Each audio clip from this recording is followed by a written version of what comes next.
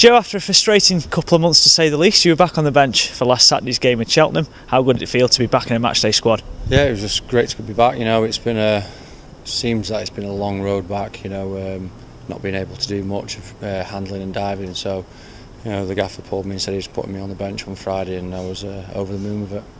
Did that come a little bit sooner than you expected? Um, maybe, maybe not. I can't really say. I, I trained that week. I thought, you know, I tested it well. So, if you can train, you can play. So that's how that's what I thought.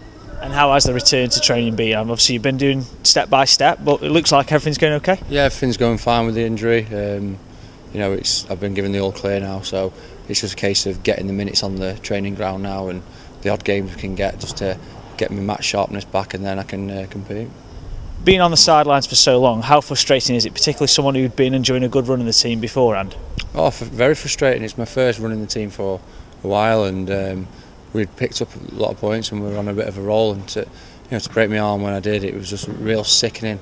But you know, I've had I've had worse injuries, so it's just a case of just getting back to basics and getting fit. Is that what helped you through recovery? The fact that obviously, whilst it was a serious injury, it's not